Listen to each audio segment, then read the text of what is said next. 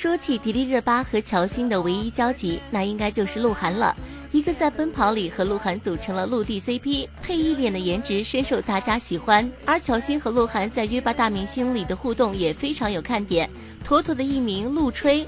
本以为两人今日应该没啥交集了，但因为一件丑到爆的裙子，又将两人关联到了一起。没错，就是在综艺节目中被乔欣吐槽成东北黑龙江屯子嘎子。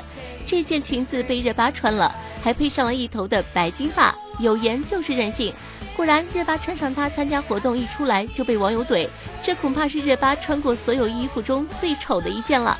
但小八细细的对比，正因为有这一头的白金假发，热巴竟然将这条土掉渣的裙子穿出了一些些时尚感。果然，再不好看的衣服，如果颜值够高的话，驾驭起来也不在话下。但在对这一裙子的评价比拼中，乔欣的吐槽明显占了下风。面对现场的工作人员，他的吐槽声可压根没停过。据小编了解，当时是节目的 cos 需求，为了帮助热爱二次元的一个女孩，乔欣要 cos 成冰雪女王，这件裙子可以说是最合适不过了。但被乔欣点成这样，小编还真是第一次见。